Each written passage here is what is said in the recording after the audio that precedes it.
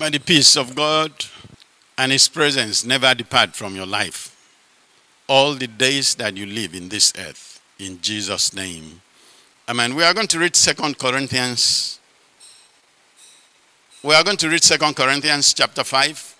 And I'm reading verse 9 and verse 10. 2 Corinthians 5, 9 and 10.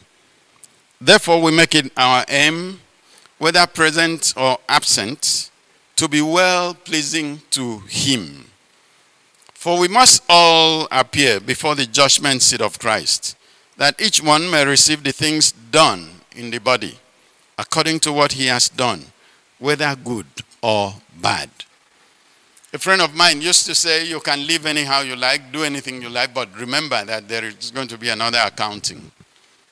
Not accounting unto men, but this time accounting unto God when this life is done. Let's assume you live until Jesus comes. Yes, you didn't die, you will still show up and give an accounting. Because we all will appear before the judgment seat of Christ. When you appear there, what kind of judgment do you expect?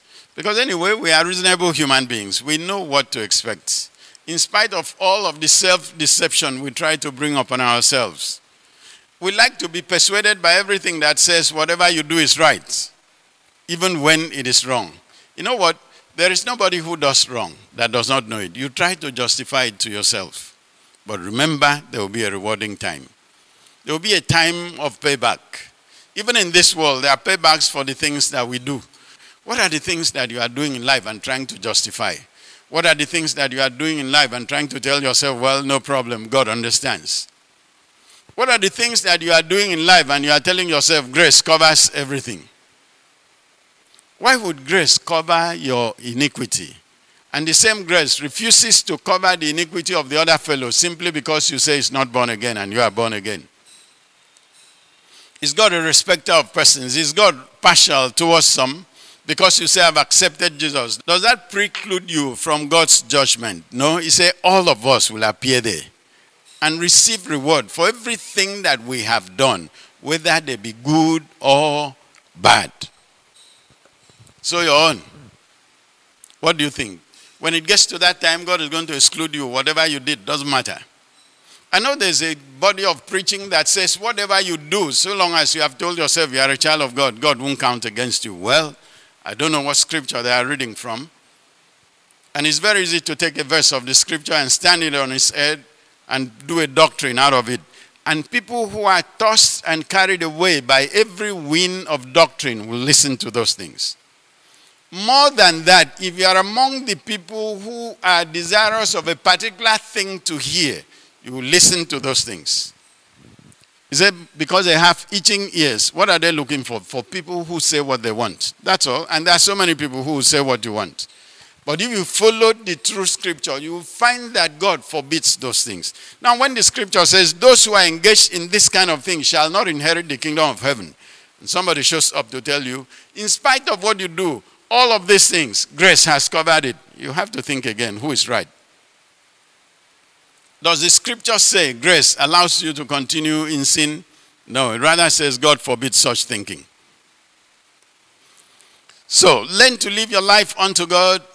Learn to live your life knowing that there will be a time of reward. I'd like to read that thing again. That each one may receive the things done in the body according to what he has done, whether good or bad. You can't change it.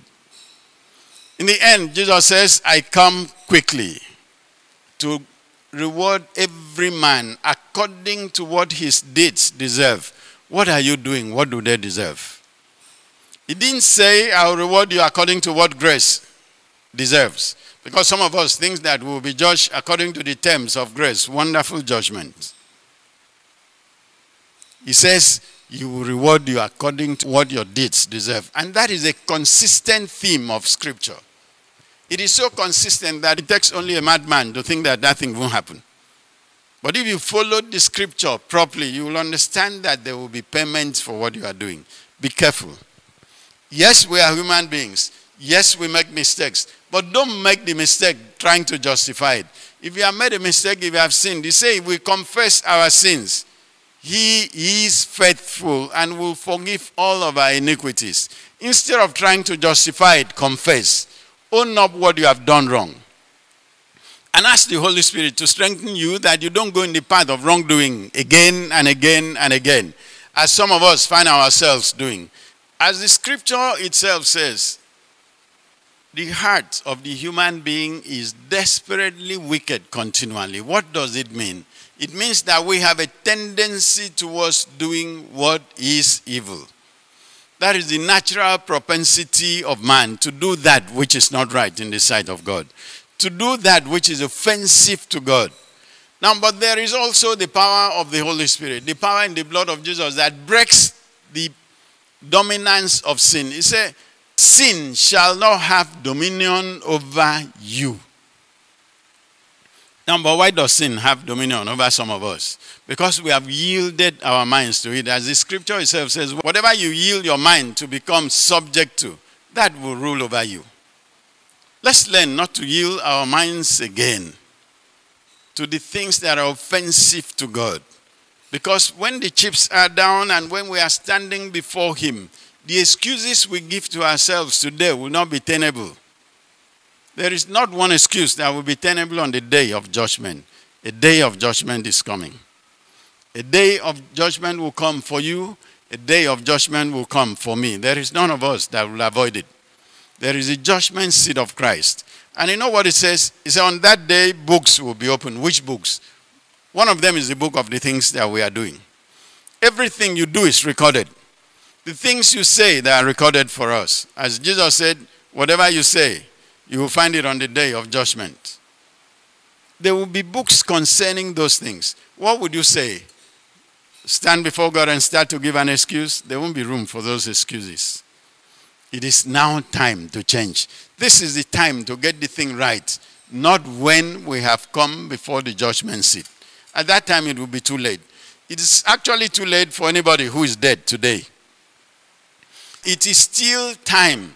If you are alive now, you can change everything. Even if you are going to die one minute from now, you can change everything. After all, the thief on the cross, how many minutes did he have? In the few minutes, he was able to get himself into heaven, into paradise. And you can do the same thing even if you are hearing this word on your sick bed and you had been so terribly bad, you can repent. But how about if you have a, a life ahead of you, a future ahead of you? Learn to live according to God. That is more difficult. Why? Because the tendency to respond to the heart of man, which is desperately wicked continually, is always there. But by the power of the Holy Spirit, which is the prayer that I will pray for all of us, we should be able to overcome that side of it. For he says again, sin shall not have dominion over you. And that sin must not have dominion over you. That sin must not have prevailing power over you. Some of us, we find that sin seems to have that power over us. It is because our minds have gone wrong. But somebody will say, I have done everything to stand up, but I still see myself falling. Today, that power will break away from you because I'm going to pray. But I'm going to pray now. Father, in the name of Jesus, first of all, the person who finds himself dominated by evil, by sin, I ask for the presence of the power that is in the blood of Jesus, the power in the blood of redemption, the power in the blood that took us away from the stranglehold of the devil. Today, that power comes upon you and breaks you away from this power of sin sin shall no longer have dominion over you. That power is broken now in Jesus' name. Amen. And I pray, Lord, for everybody that we have that consciousness that will give account for our lives. That we learn to live more unto good and permanently unto good and discard the part of evil. I pray also for those who have just few minutes left, if they will turn to you now in repentance accept them. That thief was accepted on the cross. Accept them even in their last moment. Thank you, Father. In Jesus' name. Amen. The grace of our Lord Jesus Christ, the love of God, and the fellowship of the Holy Spirit rest and abide with you now and forevermore. Amen.